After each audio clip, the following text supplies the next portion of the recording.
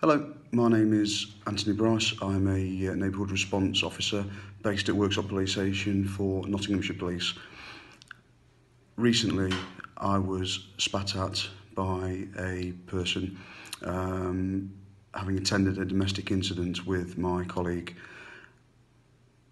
In a nutshell, he was under arrest for an allegation, having attended a domestic incident. When I led him out the address, uh, still holding holding him with him very close to my left side. He's turned around and spat in my left eye and on my left side of my face. At the time, I was verbal, verbally communicated that it was disgusting what he did, and I then had to place him over the, the bonnet of the police car. He then turned around and then spat in my colleague's face also.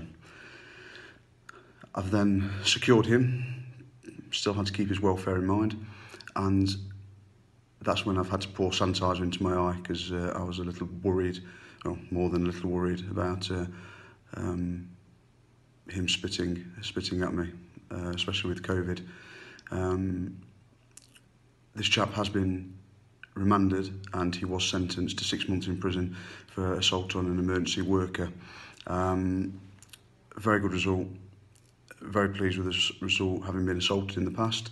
Um, and it's just a message to say that this will not be tolerated. It's not acceptable. It is disgusting.